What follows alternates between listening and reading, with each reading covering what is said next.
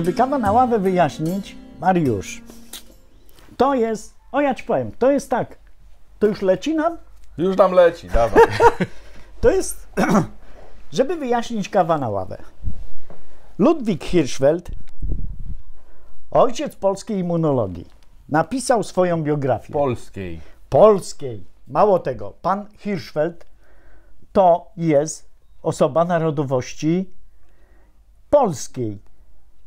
Tylko, że urodził się w rodzinie jeszcze nie polskiej, bo żydowskiej.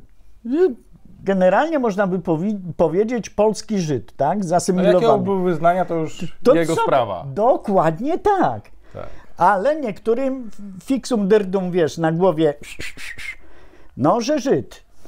Panie, Żyd nie Żyd, Zasługi ma. ale zasługi ma i to jakie.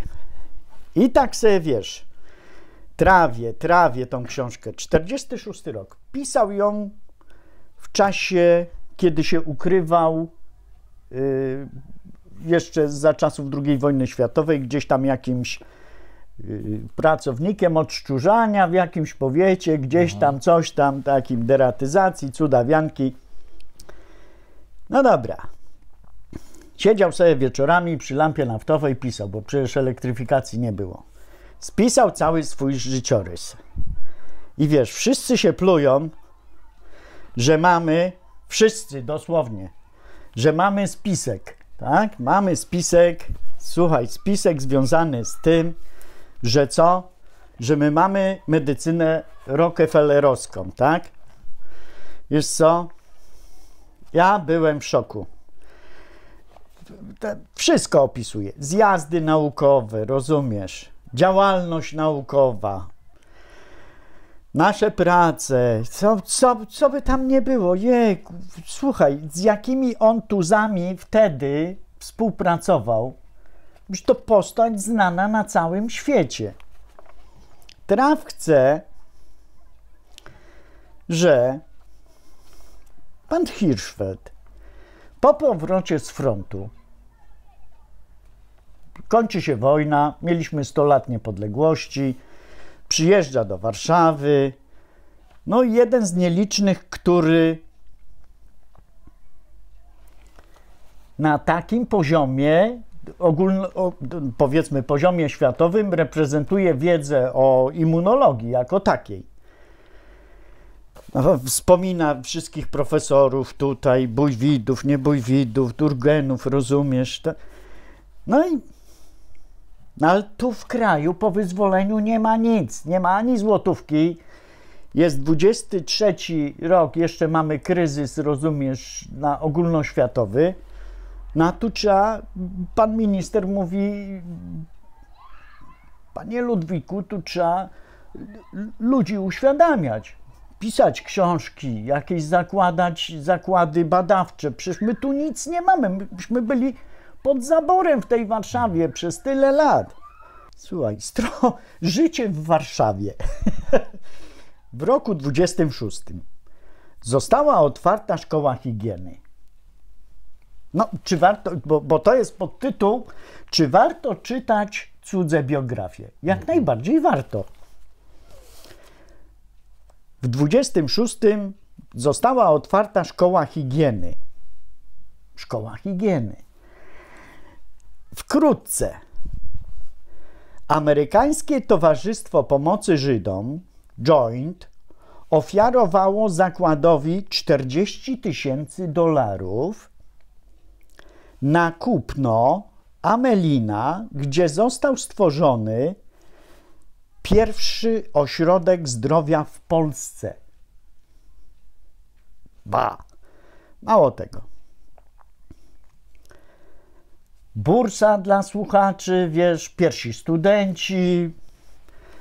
Chodziło nie tylko o ułatwienie pobytu słuchaczom szkoły, ale również o większy wpływ wychowawczy możliwy jedynie w życiu zespołowym. Jednocześnie Fundacja Rockefellera przekazała ministerstwu szereg stypendiów dla szkolenia urzędników sanitarnych w Ameryce.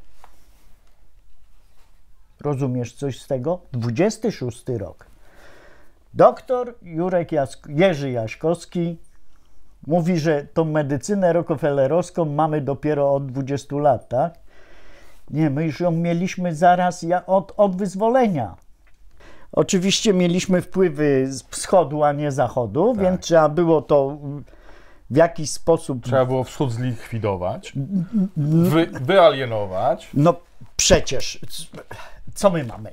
Przecież my mamy szkołę y, bakteriologiczną francuską i niemiecką. A nazwisko Miecznikow to jakie jest? Rosyjskie, tak? No czemu Miecznikow nie mógł się dogadać z Kochem, bo Koch był Niemcem, tak? Ale mógł się dogadać z Francuzami? No mógł się dogadać z Francuzami.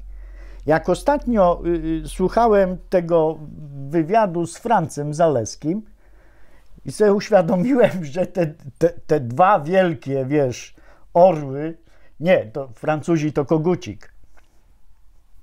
To ten y, y, niemiecki, pruski to był Adler, tak? Tak. Połowa restauracji w Niemczech ma Adlera i, albo ma nazwę Adler.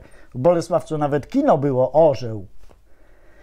No, większość klubów y, sportowych to były orły białe. Co by nie było.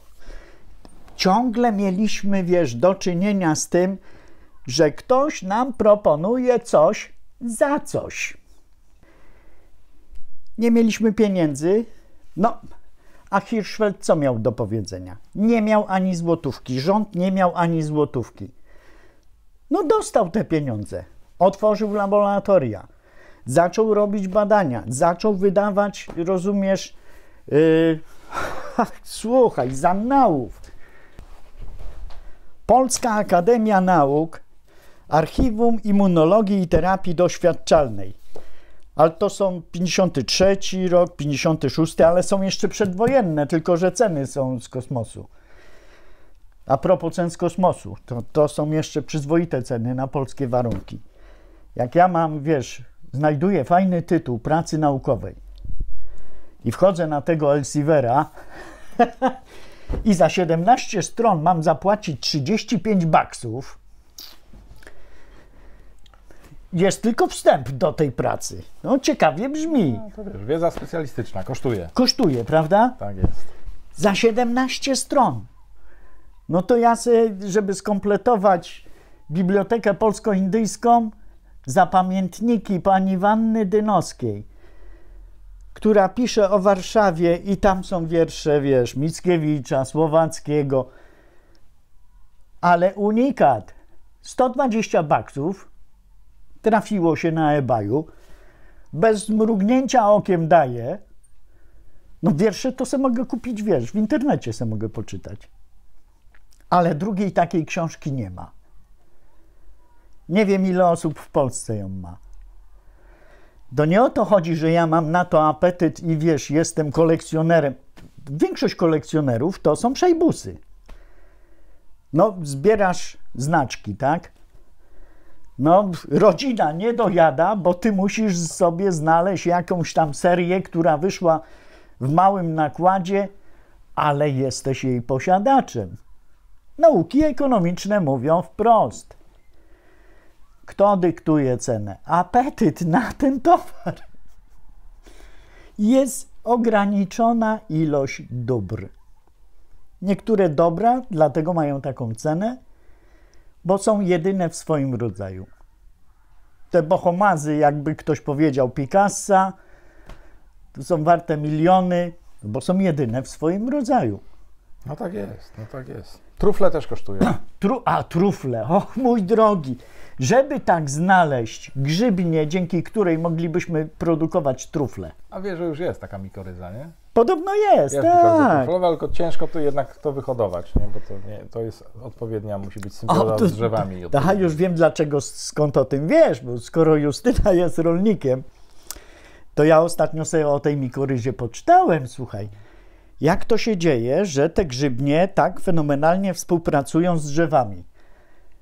No słuchaj, to jest cały cud przyrody. Absolutnie tak. Jejku, wszyscy ze wszystkimi współpracujemy. To nie ma tak, że ludzka komórka. wiesz, ja sobie uświadomiłem jedno. Ludzie sobie wyobrażają, że organizm ludzki jest kompletnie sterylny i powinien być sterylny. To tak jakbyśmy z żołądka zrobili o taki pojemnik, super sterylny, wlali tylko kwasu solnego i wrzucili białko i powiedzieli, a teraz dalej niech te wszystkie aminokwasy, aminocukry dalej do dwunastnicy stąd przejdą. Bez bakterii nie da rady. Bez enzymów, które one wytwarzają, nie da rady. Są te, które są.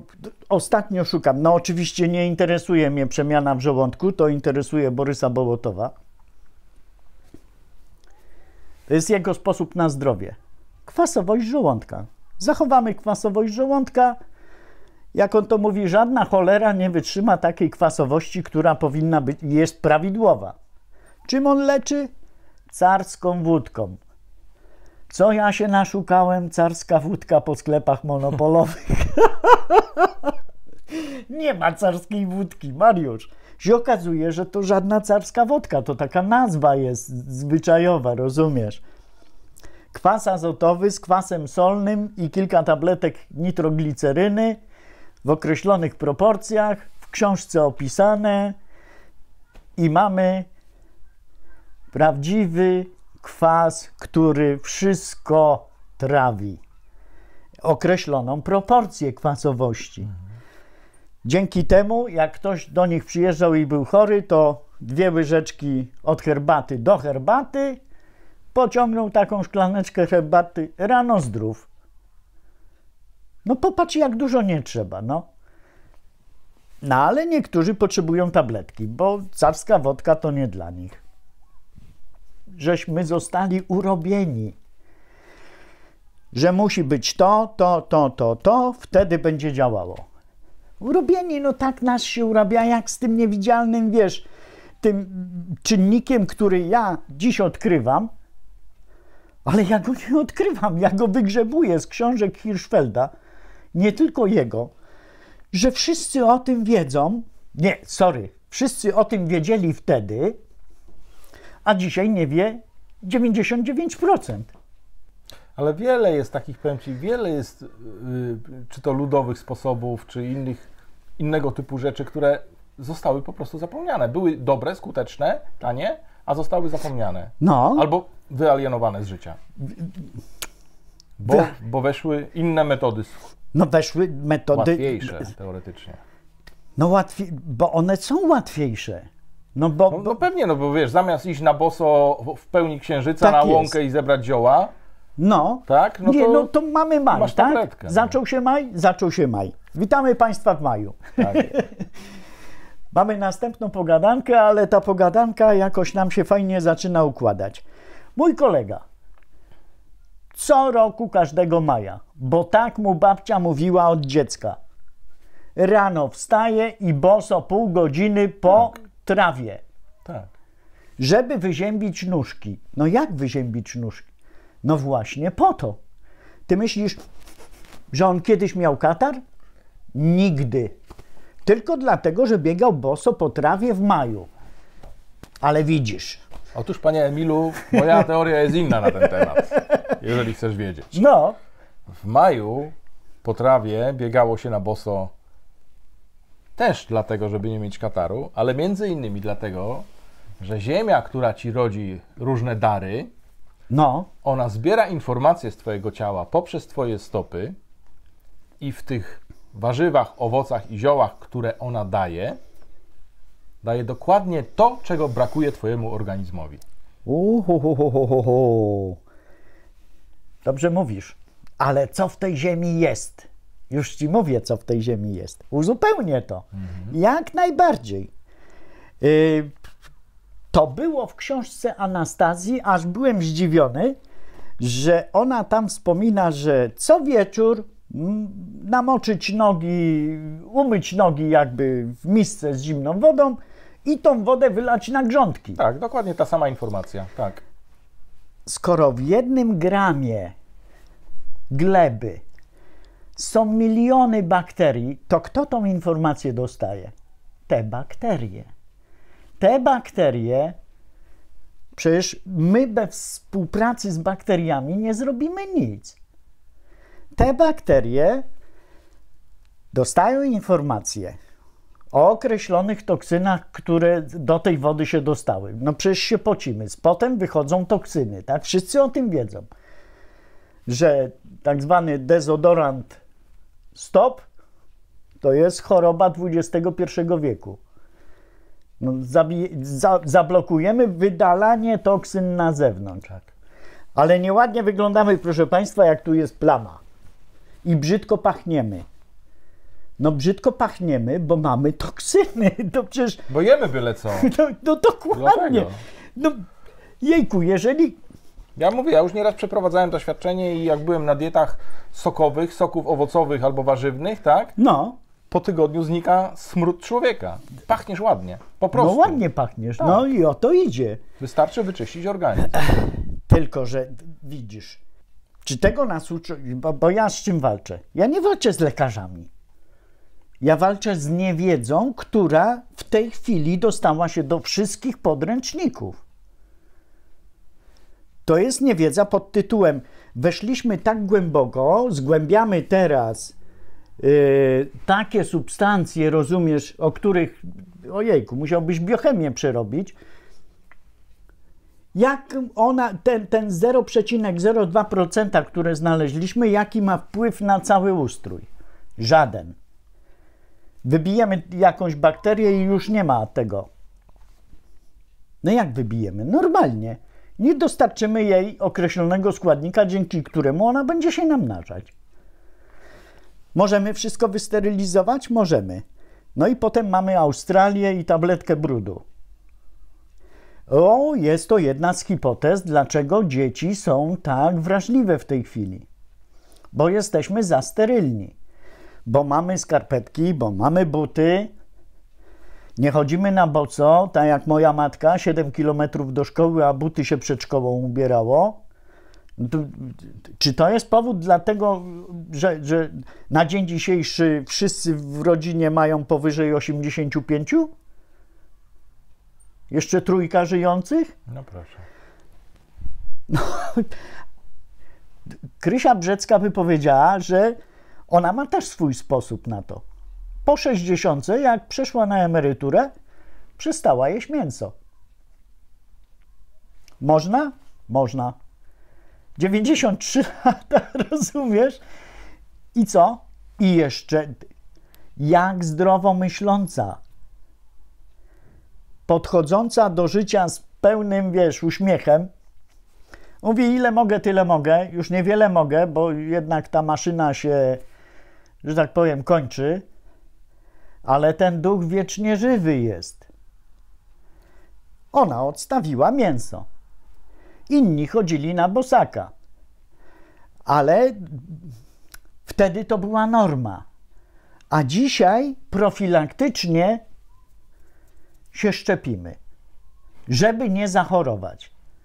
Ale na co zachorować? No skoro w tej chwili w przewadze, Mariusz, wszystkie choroby krążeniowe związane z niewydolnością krążenia, czyli wszystkie miażdżyce, badanie cholesterolów, te dywagacje, który cholesterol lepszy, który gorszy, ile czego. Jedni mówią tak, panie Emilu, niech pan nie pije tyle kawy, a wczoraj matka ogląda Discovery, a pan profesor się wypowiada, nawet kilka kaw dziennie jeszcze nikomu nie zaszkodziło.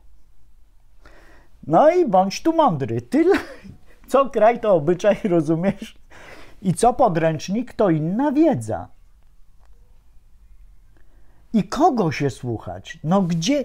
i- Jak? może zacząć po prostu samemu myśleć, tak? O właśnie, właśnie. Hirschfeld, jak zaczął robić zabawę, bo wiesz, tą krew to on miał okazję badać na tych Bałkanach z racji tego, że tam się chlastali wszyscy na tym froncie. I Turcy, i połowa Europejczyków, bo to pod każdym zaborem, jak w CK dezerterzach, byli wszyscy. I Węgrzy, i Czesi, i Polacy, i Rosjanie, no wszyscy byli, tak? Co się okazuje? Znalazłem taki. Wiesz, na poparcie tego, że to, to ja mówię, to czasami wiesz, trzeba się trzy razy zastanowić, zanim się napisze komentarz pod jakimkolwiek filmem. Jest pierwsza wojna światowa. Hirschfeld na froncie bałkańskim i pisze tak. E, naszkicowałem sytuację epidemiologiczną i na jej tle pracę mojej pracowni. Ale w moim baraku bez podłogi dokonałem jeszcze jednej rzeczy ważnej dla armii. Mia dla armii, mianowicie wyprodukowałem szczepionkę przeciwtyfusową i przeciwcholeryczną. Szczepionkę. My, cały front, Mariusz, cały front załamany, bo mamy tyfus, mamy cholerę. Jak on pisze? Sam na sobie doświadczyłem, że podano mi chininę, bo miałem zimnicę i ta dawka była tak duża, że uległem zatruciu i 7 godzin cały mój personel walczył o moje życie. Co on tutaj jeszcze wypisuje? Wyratowała mnie natychmiastowy krwioupust dokonany przez doktora Domanda za pomocą kieszonkowego scyzoryka. Słuchaj, to ty jak na tych filmach pokazują. Leci Hindus ze scyzorykiem, wiesz, i tam przytyka komuś coś. I obfite wlewy dożyły zestawu soli kuchennej. No teraz wszyscy, wiesz, wlewają sobie witaminę C.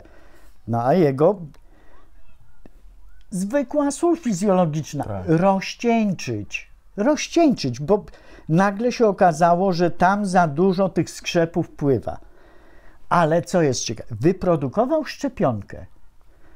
Ale co pisze, dlaczego ją wyprodukował? A to była szczepionka czy surowica? A widzisz, już ci mówię. Skoro już chorujesz, to ci nie dadzą jeszcze raz nowych yy, atenizowanych antygenów, czy tam fragmentów antygenów, czy fragmentów komórek bakteryjnych, żebyś jeszcze bardziej zachorował. Mhm. Dają ci surowicę. Co on pisze? Po co on z nią zrobił? Bo pierwsze szczepienia armii odbywały się na wiosnę 916 roku. Szczepionką francuską musiano użyć jakichś szczepów niezwykle toksycznych, bo po zastrzyku całe półki leżały pokotem z gorączką i obrzękami. Półki, front się załamał. Wiesz co? To, Proszę, pisz... to jest książka pisana w 1943 roku, tak? Szóstym. 46. To znaczy, on ją pisał gdzieś w... pamiętniki z czasów I wojny światowej gdzie już szczepimy, bo, bo mamy szczepionkę. No ale szczepimy i, i front się no tak, załamuje. Tak, no. A nam się przedstawia jako szczepienia, jako ratowanie świata, tak? Nie, ratowanie, ratowanie świata, a tu półki leżały po kotem. Po szczepieniu. Do niewłaściwej użyto toksyny, tak? Słuchaj, to jest 916, kiedy jest front. Pierwszy Nobel z medycyny jest w 901 roku. Mhm dla mojego imiennika. Emila. Pastera. Nie. Ludwik był. A, Ludwik Paster, tak. No, ale Emilów kilku immunologów było, okej. Okay. Ten gościu nazywał się Emil Adolf von Bering. Użył surowicy. Razem z Japończykiem, rozumiesz poskładali do kupy tą całą immunologię i zrozumieli jedno. Nie szczepimy na wyrost, czyli nie immunizujemy na wyrost, tylko jak przychodzi jakaś zaraza, to po pierwsze bierzemy ten szczep, produkujemy przeciwciała, Czyli robimy surowicę i dostarczamy tą surowicę. Czyli organizm jest za słaby, dajemy mu przeciwciała dodatkowe tylko przeciwko temu najeźdźcy, a nie żadnemu innemu. I bardzo szybko ludzie wychodzą na prostą, no bo mają, dostali, wiesz, wzmocnienie. Cała ta komplikacja związana z immunizacją, czyli z uodpornieniem, zaczęła się od tego cholernego przypadku opisanego przez Richeta. Oryginalna z annałów, czyściutka jak łza, nikt jej nie czytał. Anafilaksja. Już żeśmy o tym mówili. Ja. A, właśnie. Co ten pan zrobił? Dowiedział się, że można na różne toksyny dostać antytoksynę. No bo jeszcze nie wiedzieli, że to są jakieś antygeny szczególne z określoną, wiesz, substancją końcową, która jest naj, najwredniejsza, najbardziej aktywna. Nikt nic nie wiedział. Bakteriologia z 902 roku, pierwszy polski tłumaczony z niemieckiego podręcznik, nie opowiada o tym, jak się leczy, tylko opowiada, jak wyglądają te bakterie, jakie na szkiełku tam analizujemy, jakich preparatów trzeba użyć, żeby one się uaktywniły w tym całym posiewie, który robimy, jakie pożywki teraz na agarze i na jajkach, na białkach jajkowych się robi. Po co? Bo rachunek ekonomiczny zaczął odgrywać rolę. Ten pan Charles Richet znalazł takie trujące anemony w wodzie. No i co? Wyekstrahował taką toksynę, zapakował pieskom i tylko jeden przeżył. No, z... Wprowadzasz toksynę. To tak jak wiesz, klaśnie cię jakaś jadowite, jadowity wąż. Jak masz silny organizm, przechorujesz, gorączkujesz, cudujesz, nie jesz, o, dziwne rzeczy się dzieją, plamy ci wyskakują, no bo organizm się broni na różne, szuka sposobu, żeby zwalczyć. Wyzdrowiałeś, ale jak jesteś słaby, a produkcja przeciwciał trwa nawet do miesiąca, no to nie ma szans. Zanim ty tą armię wyprodukujesz, to już jesteś pogrzebany. To ten Emilek, rozumiesz, z Japończykiem wpadli na pomysł. No to jak analizujemy, przychodzi chory, pobieramy wymaz, patrzymy, o, to ta sama. Po co tą, tą bakteriologię stworzyć? No bo mamy już określone preparaty do analizy. Chwila, moment, a teraz są testy takie, że wiesz, cyk, cyk, cyk, od razu ci wyskakuje. Po pół godziny wiemy, z, z jakim wrogiem mamy do czynienia. Mamy taką surowicę? Mamy. Podajemy, wzmacniamy organizm, nie musi czekać 4 tygodnie. Fajnie jest. Tylko, że jak ja w wieku dwóch lat chorowałem na odrę, wtedy tak to nazwano, mój brat miał pół roku. Ja jestem z grupą A1, mój brat po ojcu miał grupę 0. On tą odrę przeszedł w tydzień. Ja w trzy. Mama mówi tylko dlatego, że nie jadłem. Mój brat jadł i bardzo szybko doszedł, a ja nie chciałem jeść. No więc gorączkowałem, wiesz, babcia mnie pielęgnowała, wszyscy cudowali, lekarze nie wiedzieli co. Bo musisz przechorować. Z czym się wiąże immunizacja? Emil, ale zaczekaj, bo to wygląda to dosłownie w tym momencie wygląda to tak, jak programy antywirusowe do komputera. Ktoś konstruuje wirusa, infekuje nam komputer. Tak. Ale mamy program antykomputerowy, y, antywirusowy, Tak. który nie zna tego wirusa, bo to jest nowy wirus. Nowy. To on sobie wchodzi. Tak, wirus infekuje nam, dzieje się tragedia. Twórcy programu antywirusowego skapnęli się, że jest nowy wirus, Tak, bo psuje w robotę. ciągu trzech tygodni tworzą program, Antywirusowy. nakładkę na program antywirusowy, Tak. która potrafi tego wirusa zatrzymać i Dobrze zlikwidować. mówisz. Nakładkę. Nakładkę na program Bo, antywirusowy. bo reszta tak. tych, które już masz, Tak. też muszą funkcjonować. Tak. I teraz po update'cie wszystkich komputerów, które mają ten program antywirusowy z nową nakładką, No, ten wirus już jest nieskuteczny dla naszego. On nieskutecznie będzie infekował nasz komputer. Nasz program antywirusowy zablokuje jego działanie. dokładnie. I teraz w zależności od tego, jacy są dobrzy twórcy wirusów i jacy są dobrzy twórcy nakładek antywirusowych, Tak. zależy od tego, jak będzie działał nasz, nasz komputer. No, To jest dokładnie ta sama analogia w stosunku do działania wirusów i antywirusów w ciele. tylko, że to jest pół sukcesu.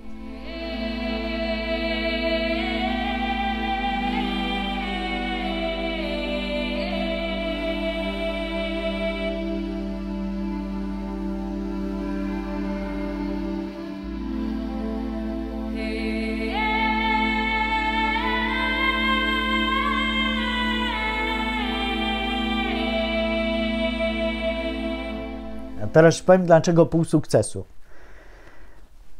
Tego Nobla Emilek dostał za to, że wymyślił szczepionkę i dostarczył szczepionkę, czyli wszedł, pominął wszystkie warstwy ochronne organizmu. Wszedł bezpośrednio do krwiobiegu, dostarczył przeciwciała przeciwko tam tężcowi, nietężcowi, kilka innych tam różnych szczepów, przepraszam, i momentalnie organizm zaczął się bronić. Hirschfeld zrobił to samo. Co zrobił? Wykorzystał inne szczepy lokalne dla tej grupy etnicznej. Te tak zwane słabsze.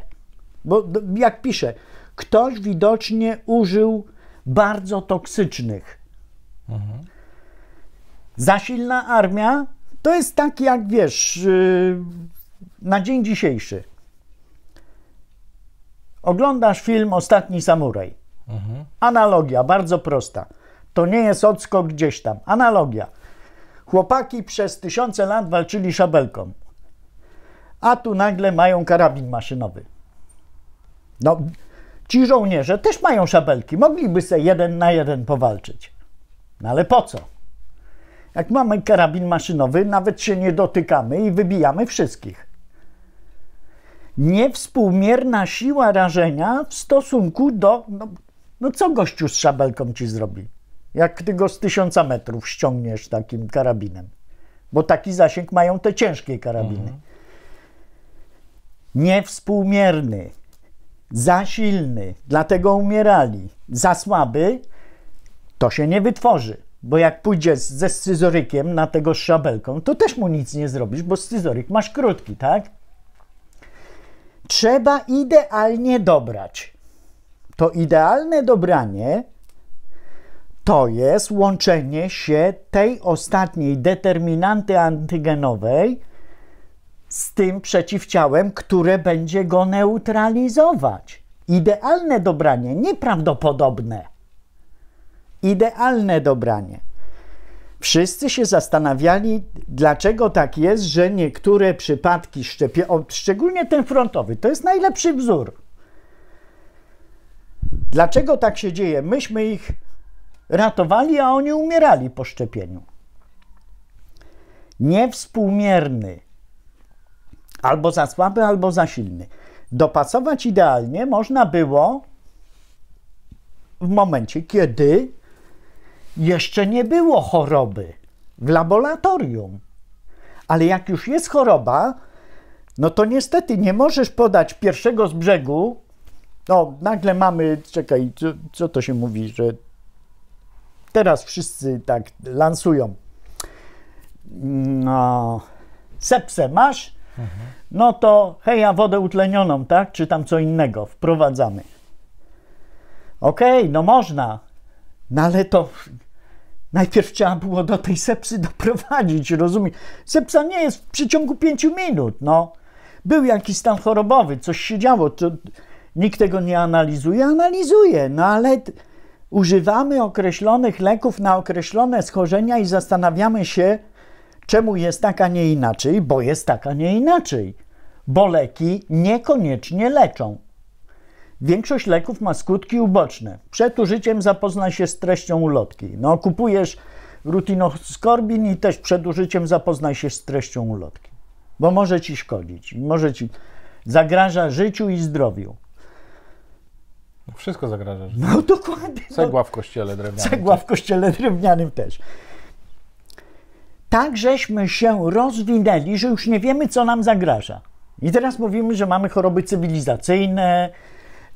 No mamy, no bo, bo jak nazwać to wszystko, co się dzieje, nad czym nie panujemy? Najlepiej zwalić to na rozwój.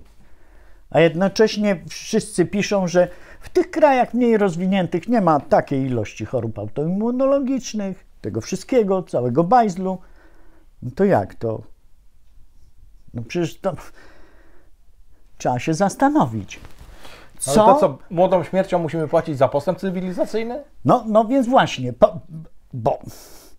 A czym jest postęp? Bo my żeśmy widzisz, postęp to było tak. Jeżeli wprowadzisz, jaki był postęp? Jak doktor Jaśkowski mówi. Był taki balwierz Janner, który wziął tą ropę ze strupa, tam chłopczyka zaraził, on musiał tą chorobę przechorować. Jeżeli każda jedna szczepionka wprowadza w tej chwili, taki, taką mam listę przebojów z portalu gov.pl, nie tam jakiegoś pierwszego z brzegu. Wszystkie szczepionki, wszystkie substancje. Atenowane wirusy, fragmenty wirusów, jakieś inne substancje i tak dalej. Wprowadzamy tylko po to, jeżeli na moje terytorium przychodzi jakikolwiek obcy z antygenem, którego ja nie mam, to mój organizm ma wytworzyć przeciwciała. I dzięki wytworzeniu tych, czyli musi przechorować, tak jak ja tą odrę musiałem przechorować. Jak przechoruję, wytworzę przeciwciała, a moje komórki pamięci, oczywiście nie we wszystkich przypadkach te komórki pamięci powstają, zapamięta wroga do końca życia i będzie miał te przeciwciała gotowe. I teraz tak. Pierwszy Nobel z medycyny za to, że wprowadzono do organizmu wzmacniacz w momencie choroby, a nie antygen, który ma wywołać przebieg, łagodny przebieg choroby.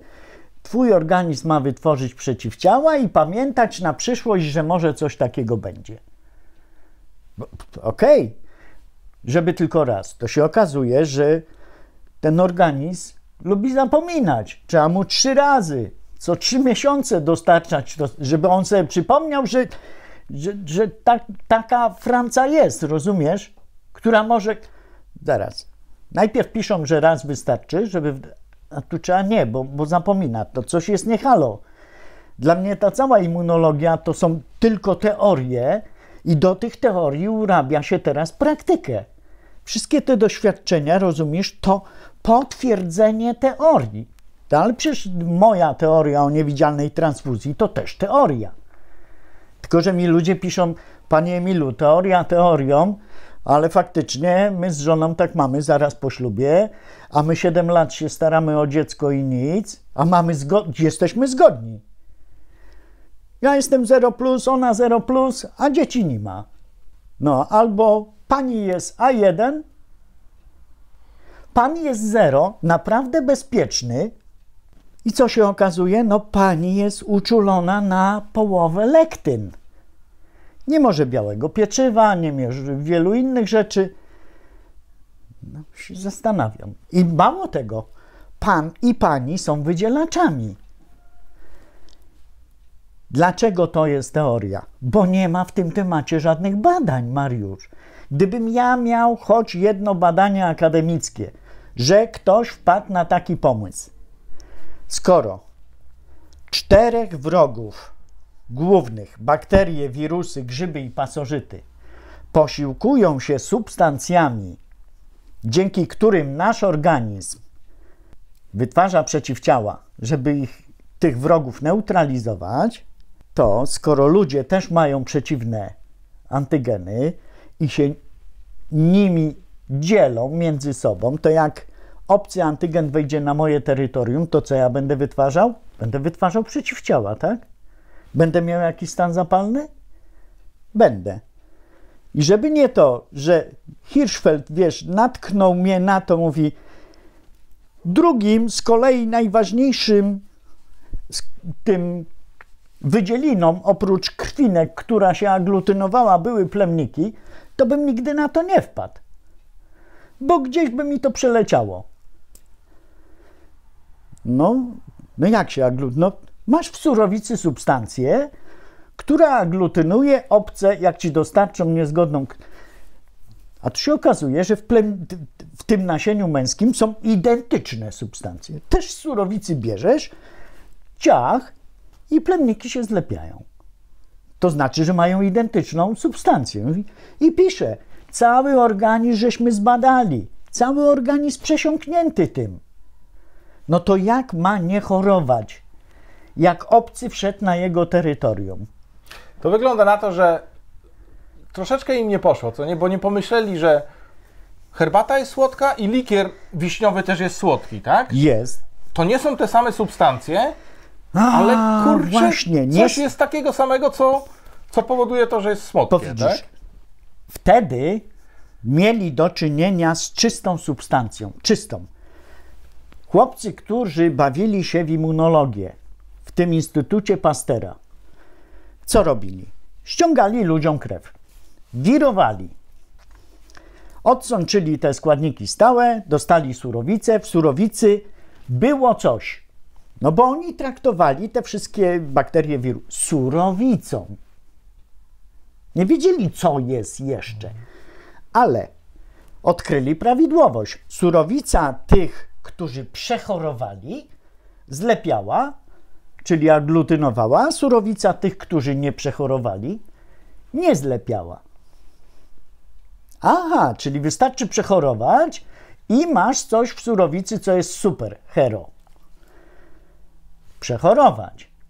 No to stąd się zaczęła, te, stąd wynikł ten pomysł, dostarczmy ludziom te wredne antygeny w postaci szczepionek, noworodków i tak dalej, oni sobie to wytworzą, będą mieli tą armię na przyszłość. No ale po co ci armia, jak nie ma zagrożenia? No ale szczepimy na BCG, rozumiesz? No bo, bo być może wróci gruźlica. To, że wiesz, ci nasi emigranci we Francji na suchoty umierali, bo tęsknieli za Polską, tak? Nie na gruźlicę, na suchoty. No jeździli do różnych krajów, leczyli się i nikt nie wiedział, że to jest jedna mała pałeczka, która y, odpowiada za to wszystko. Coś było w surowicy, jak Landsteiner sobie to poukładał. Jeżeli próbuję to wyjaśnić, wiem co zrobię. Wiem, co zrobię, Mariusz, bo tak to będziemy się pałowali jeszcze 100 następnych odcinków. Zrobię taką, wiesz, taki mini kanał Niewidzialna Transfuzja. Będę opowiadał tylko tak o tych konkretach. Co ty na to? Dobrze, samo mięso. Samo mięso, kawa na ławę, jak to było, bo tak to możemy, wiesz. Dobra. Ktoś mi powie, panie Emilu, pan mi tu 46 rok, a ja tu panu, o wie pan, 2017 immunologia i tu są całkiem... I tam nic nie pisze.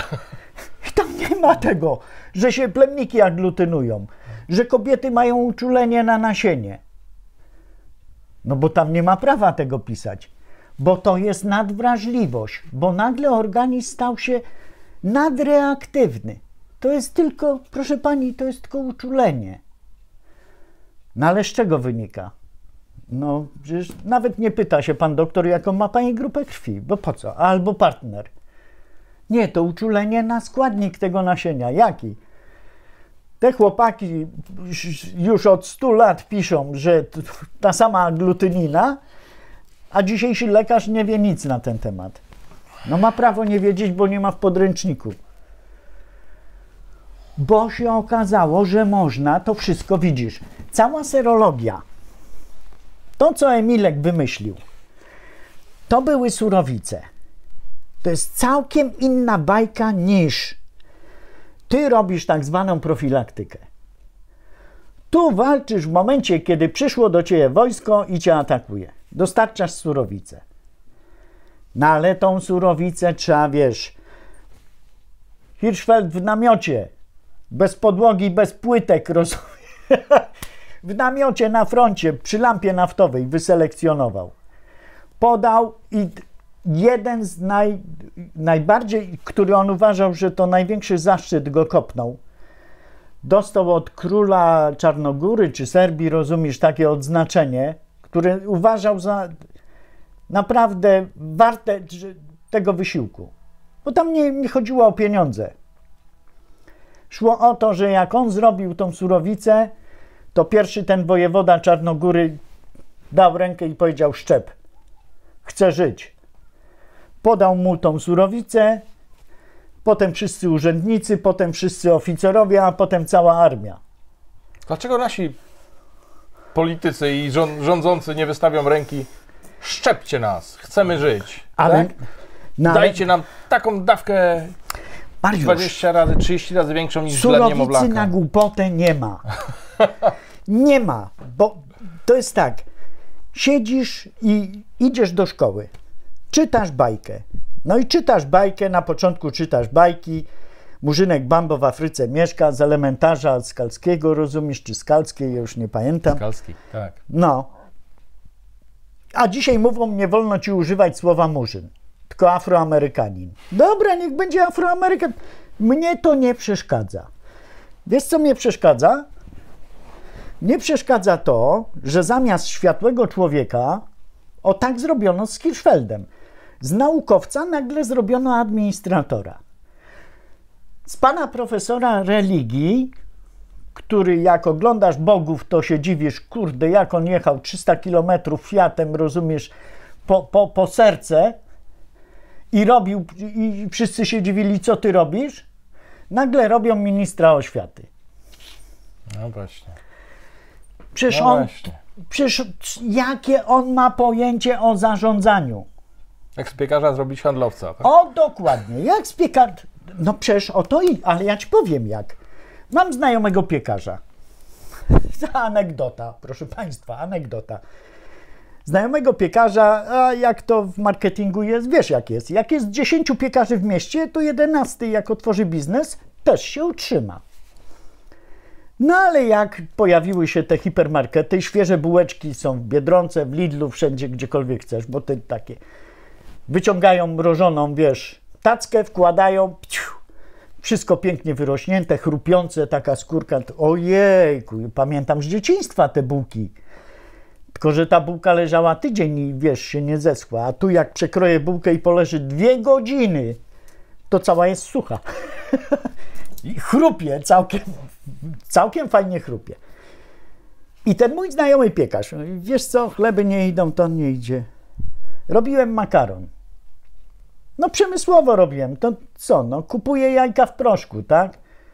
Woda ściągnięta, cały ten składnik już taki, wszystko sproszkowane, pięknie, ładnie. No wrzucisz na wodę i gluty się robią. No robią się gluty, no bo przecież sama nazwa mówi, że tam gluten w tej mące, tak? Notabene to jedna z lektyn, która działa drażni... Lektyn. A to będę wyjaśniał, proszę Państwa, na tych moich wykładach. I mówi, wiesz co zrobiłem, Emil? Przeszedłem na prawdziwe jajka. Dosłownie tak, jak moja babcia robiła makaron. Stolnica duża, dwa kilo mąki, ileś tam jajek, bełtała, bełtała, tu, tu, tu, tu, tu, potem czyste prześcieradło na łóżko, rozwałkowane te placki podsychały, potem się to zwijało, szatkowanie i to był makaron domowy. Zrobiłem pierwszą partię na prawdziwych jajkach. I szok. Ty, ja nie potrzebuję robić chleba. Ten makaron schodzi jak świeże bułeczki. Oczywiście, że tak. Gotujesz 5 minut al dente. Gotujesz 25 minut, nadal al dente. Cud! Nie, to żaden cud. Nie ma drogi na skróty. Jak chcesz coś dobrego zrobić, nie ma drogi na skróty. A ta cała immunologia poszła na skróty. Po co mamy kombinować w laboratorium? Szukać tych przeciwciał, namnożyć ich taką ilość, żeby każdemu choremu podać. Skoro już na wstępie, jak tylko wchodzi w życie na tym świecie, damy mu tu antygenów, niech on se sam te przeciwciała wyprodukuje. A jak on już je ma, i co? I tu jest NOP. Albo jak jest niezgodny, no przecież nie ma czegoś takiego jak uniwersalne. Każdy szczep ma określone determinanty. To, co pisał Hirschfeld. Za mocny szczep trucizna, za słaby w ogóle nieaktywna szczepionka. Możesz się szczepić do końca życia. Ile byś tam nie wprowadził, to wszystko się rozmywa. Droga wprowadzania też ma znaczenie, bo jakoś nie widziałem odry, która by atakowała nasz układ krwionośny. Mariusz, jest wiele takich rzeczy. Ja sobie zdaję sprawę, że ludzie nie mają czasu czytać. Mhm. Okej, okay. Gdzieś tam niektórzy wyłączą telewizor, gra sobie, on robi swoje. Ktoś tam coś nadaje. Nasłuchasz się, nasłuchasz, ale to wiesz, jak to mówią, jednym uchem wleci, drugim wyleci. Ale jak się naoglądasz, u 50% informacji, ostatnie badania, które trafiają przez oczy, jest generalnie łatwiej zapamiętywane. I no co my mamy? Mamy tak zwane inżynierię społeczną. Urabiamy ludzi przez oczy. Poka- Ale to jest zrozumiałe, no jeżeli wiesz, dwa zmysły, czyli słuch i wzrok pracują nad tym samym tematem, no to jest bardziej to przyswajalne i bardziej zapada w pamięci. Tak? tak, tylko że co? No wszyscy chcą, żebym ja wydał swoje pieniądze na ich towar. Po pierwsze, ja muszę mieć potrzebę nabycia tego towaru. Nic nachalnie. Po drugie, ten towar musi mieć określoną jakość. O, no widzisz, znowu odskok. Powiem ci, Zajeżdżam do mechanika samochodowego. Zajeżdżam do mechanika. No moja Mazda to jest pierwszy, drugi rocznik wypustu. Mazda MX-3 ma 28 lat. No i co? Zajeżdżam na przegląd. Gościu tak po tej blasze od spodu tłucze i mówi: Panie, jak ja bym chciał w mojej nowej renówce taką blachę mieć. W nowej. No, ale patrzę, że to nie ten mechanik. A tu gościu renówką podjechał, bo mu komputer wyłączył auto. No i ten mechanik biegnie z tym, wiesz, całym ustrojstwem, bada, co ten komputer tam wyświetla i mówi: Ten błąd panu skasuje, ten błąd panu skasuje. No auto nie pojedzie, bo komputer powiedział, żarówka się spaliła. Kurczę, wiesz Ale to co? jest właśnie tak, powiem Ci, z tymi szczepionkami. Te błędy panu skasujemy, tak? Dokładnie tak. Skasujemy to, czego twój organizm nie ma, pomożemy mu na wszelki wypadek. Na wszelki wypadek. Tak. No to Ale co spowodowało ten błąd, to już nikogo nie interesuje. Nie, no bo to jest mało ważne. I teraz tak, jedni walczą z drugimi i powiem Ci, dlaczego walczą. Gdybyśmy na dzień dzisiejszy każdemu choremu dziecku dostarczali surowicę Emilka, ale tą surowicę dostarcza się w momencie, kiedy jesteś chory, a nie profilaktycznie, bo zabijesz go, to byśmy mieli prawdziwą immunologię. A my poszliśmy na skróty. Po co mamy się wysilać, produkować? My dajemy antygen, niech se organizm przechoruje, sam wytworzy przeciwciała. To jaka to jest immunizacja, skoro ten organizm musi tą chorobę przechorować w tak zwanym łagodnym wydaniu, no bo to są łagodne szczepy, żeby wytworzyć przeciwciała, bo być może kiedyś, co, to ja powinienem ciągle w kasku chodzić, bo być może spadnie grat. Emil, no ale to tak jest, to tak jest z tą medycyną, wiesz, idziesz idziesz y, do lekarza, tak, i dostajesz antybiotyk, ale on nie działa. Idziesz za tydzień, no nie działa, to dostajesz drugi, tak? Tak. Na innej bazie. No ale też nie działa. No to dostajesz trzeci, a jak ten już nie działa, no to już czwarty dostajesz o szerokim spektrum działania, który działa na wszystko. Tak jest. Tak? Ty, zabijamy wszystko wtedy. Słuchaj, i to na tym to polegało. Cała zabawa z tym rozwojem, bo to jest fajna sprawa. Jak mamy jeden na jeden, tak jak było na tym samuraju, jeden na jednego, to była honorowa walka, nie? To były te mono. A teraz zrobimy poliwalentne. Mamy osiem różnych. Tak. Ośmiu różnych na jednego, którego moglibyśmy zidentyfikować. Ale po co się wysilać, skoro mamy jednego, który na osiem naraz działa? Procedura jest procedura, tak? No, Łatwiej. statystycznie wychodzi, że na któregoś trafi, tak? Tak. A jak nie trafi, a jak narobi To cię szkody, szlak trafi. No. to ci szlak trafi. Jedni mają rację, ci, którzy mówią szczepimy, ale surowica w momencie, kiedy już jest choroba, a z dużą dozą prawdopodobieństwa nie chcę tych szczepionek dla no, mojego noworodka, bo po co mu one? Wcale nie musi tak się zdać. Po co mu ten kask, rozumiesz? Mają rację. Oni mają rację, zgadza się. Mówienie, że mamy jakąś odporność stadną,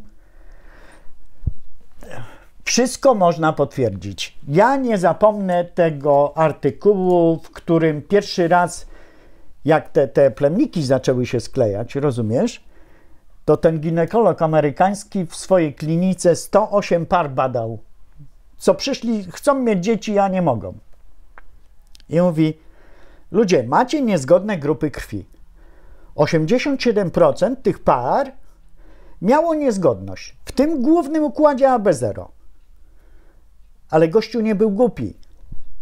Oczywiście zbadał, który z tych osobników jest wydzielaczem, a który nie wydzielaczem. I tu 90% niezgodności. Aha, czyli nie jest tak, że możesz mieć tu niezgodność, niezgodno, jeszcze te wydzieliny, a tam są jeszcze na razie układ Lewis opisany w wydzielinach, a ile innych jeszcze jest, których już się nie bada, bo się nie bada wydzielin. Ludzie piszą do mnie, mówi, panie Emilu, ja chcę zrobić ten na tego sekretora, yy, gdzie? W Gdańsku, tylko na Wydziale Serologii mogę se zrobić. W żadnej stacji krwiodawstwa już yy, zabronili. Nie możesz się zbadać, czy jesteś wydzielaczem. No jak zabronili? Do, do, kochani, pan Peter de Adamo sprzedaje na eBayu takie testery na ślinę. Wystarczy napluć. Jak jesteście wydzielaczem, to wam nie dość, że ustali, czy jesteście wydzielaczem, to jeszcze wam powie, jaką macie grupę krwi ze śliny. I to daje do myślenia. Jeżeli w ślinie mam tą samą substancję, co w krwinkach, to znaczy, że ta ślina jest toksyczna. Kilku badaczy szczepiło zwierzątka ludzką śliną, wszystko umierało. Jest toksyczna? No powiesz, że nie. No, no wyniki badań. A co będziemy to publikowali? No ale większość jest opublikowana. Niestety w annałach immunologii te doświadczenia są. I wszyscy mówią na dzień dzisiejszy, ludzie nie są na siebie toksyczni. Nie, no przecież się dobierają. Kumpel tego pana profesora, który razem z nim tą pracę pisał, że to jest nowy koncept, dlaczego ludzie nie mogą, zdrowi ludzie nie mogą mieć dzieci, bo mają niezgodność. Pięć lat później, no, co robi? Badania. Tak szerokie spektrum. Wszyscy ze wszystkimi mogą się parować. Jak najbardziej. Wszyscy, ze, ci, co się parują, mają dzieci. A z zero, a z B, a za B, zero ze wszystkimi, każdy z każdym. Bez uwzględnienia, który z nich jest sekretorem, a który nie, nie sekretorem. No, tak można, nie? A na dzień dzisiejszy wchodzisz na Google'a i czytasz co piąta para nie ma potomka albo walczy o potomka. Czyli zaraz, co piąta pora to 20%. 20% społeczeństwa z jakiegoś powodu nie ma albo nie może mieć, bo na przykład, y, róż, bo to są różne przypadki, Mariusz. To nie jest tak, że y, ja mam partnerkę 0, a ja jestem A, to ja jestem niezgodny. Tam się okazuje, że tam bardzo konkretny cukier do cukru musi pasować. Tak właśnie jeden do jednego, nie poliwalentny. Wiele. Jeden do jednego. Jeżeli jeden do jednego pasuje, wszystko jest cacy. Ale się okazuje, że ten jeden do jednego przy starcie jest cacy, ale po szóstym tygodniu płód zaczyna przesiąkać substancjami grupowymi i matka go odrzuca, bo ten, do startu ten cukier był dobry.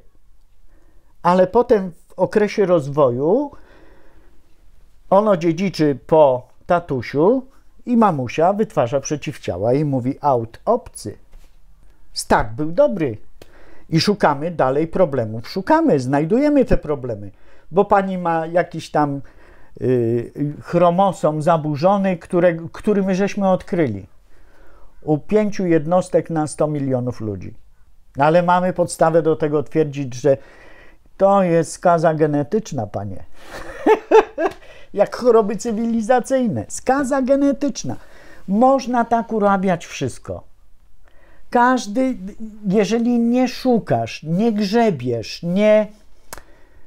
Sam się nie dowiesz. Sam się nie dowiesz, to wiesz, no nikt ci nie, nie zdradzi swojej tajemnicy. No to mój kolega od samochodów, wiesz, to samo techniką ze mną, ze, ze mną kończył mechaniczne, a nie samochodowe. Ale otworzył zakład samochodowy. Kiedyś zajeżdżam do niego, a Andrzejek mówi tak.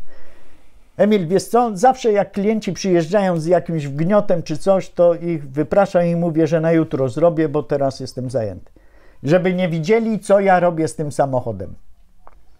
A ja biorę, wiesz, pięciokilowy młotek, jeden strzał w odpowiednie miejsce, bach, wszystko się prostuje. Byś się zapłakał, gdybym ja ci tą piątką tak przywalił. A jak nie widzisz, czego oczy nie widzą, tego sercu nie żal. Proste. Tak to już w życiu jest. No, nie wszystko nam się mówi, bo, bo nie wszystko jest wygodne. No. Nieładne, źle odbierane. A to jedyny skuteczny sposób w takim wypadku, bo niektórzy teraz sawki wykorzystują, cudawianki. I tak jesteśmy, wiesz, w takim fajnym, kolorowym świecie, gdzie wszystko może się, jak to w piosence, wszystko się może zdarzyć. Wszystko się może zdarzyć. Wszystko się może zdarzyć, no.